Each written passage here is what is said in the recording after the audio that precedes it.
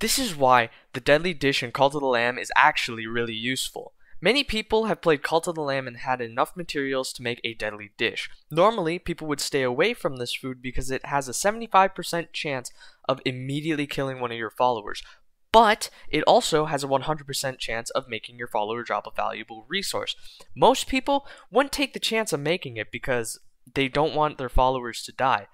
But it is also very useful when you don't have a prison or your sacrifice ritual is on cooldown to deal with a dissenter. So, by feeding them a deadly dish that would immediately kill them could save you a lot of faith in the future. So, in conclusion,